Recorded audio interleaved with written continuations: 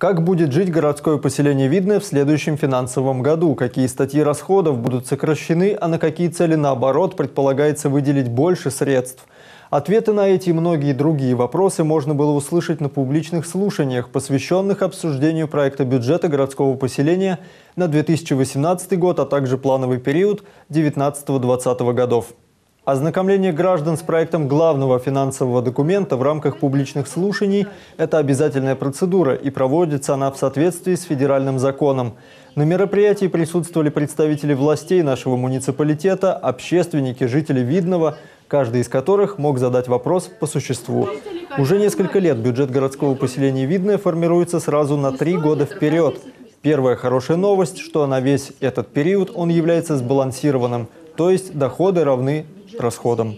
На 2018 год по доходам бюджет и расходам 774,2 миллиона рублей, на 2019 год 791 миллион рублей, на 2020 год 817,6 миллиона рублей. Доходы бюджета поселения формируются преимущественно на 89% налоговыми доходами, в частности, такими как земельный налог, НДФЛ, налог на имущество физических лиц – плановом периоде на 19-20 годы структура основного пополнения казны городского поселения также не изменится. Что касается расходов, то здесь в полном объеме сохранена социальная направленность бюджета. Расходы бюджета на обеспечение современной комфортной городской среды, функционирование и развитие дорожного хозяйства в сфере молодежной политики, культуры, спорта, социальной политики составят 663 миллиона рублей или 86% от общего объема расходов бюджета. Отдельной строкой выделен транспортный вопрос. Число жителей Видного постоянно растет, увеличивается количество автомобилей.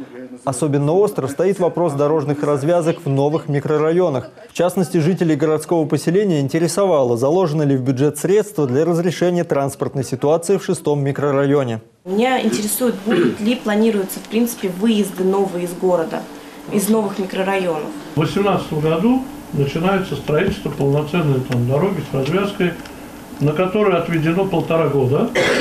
Но вот мы с Сергеем Анатольевичем не раз встречались, и глава района держит на жестком контроле. Э, будем просить их, может быть, как-то, э, как говорят, э, опережающими темпами. Кроме того, в бюджете 2018 года предусмотрено более 18 миллионов рублей на разработку проектов реконструкции развязок в двух местах Видного. На пересечении улиц Школьной и Советской, а также на проспекте Ленинского комсомола. Для реализации данных дорожных программ необходимо финансирование из казны Московской области. В соответствии с законодательством проект бюджета городского поселения Видное будет рассмотрен на ближайшем заседании Совета депутатов городского поселения.